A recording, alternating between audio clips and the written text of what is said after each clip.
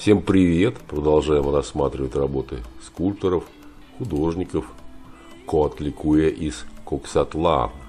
Постклассический период, 1500 год, Туф, высота 11.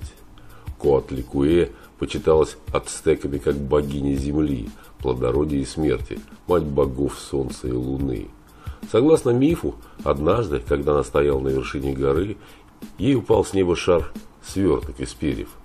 Богиня прижала его к себе и через некоторое время родила сына, Уицелопочтли, одного из главных богов ацтекского пантеона. Он родился в снаряжении воина и защитил мать от угрожавших ей расправой старших детей. Амбивалентный образ Коатликуэ одновременно воплощал начало и конец жизни. Она – олицетворение земли, из которой каждое утро рождается солнце, и смерти, так как земля в назначенный срок поглощает все живущее. Значение имени – та, что в платье из змеи – стала главной иконографической деталью, отличающей богиню в произведениях искусства. Статуя из разновидности туфа исполнена в регионе, соответствующем южной части современного мексиканского штата Пуэбла.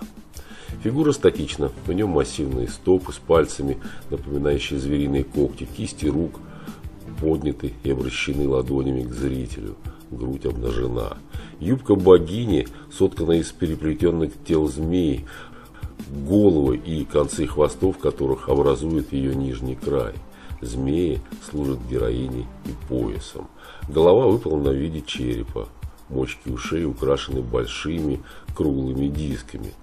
От инкрустации сохраняется только фрагменты. Это бирюза в круглых углублениях на скулах, несколько зубов из белого перламутра и розовый перламутр, выстилающий ноздри. Возможно, дорогой материал заполнял и круглое отверстие в груди статуи.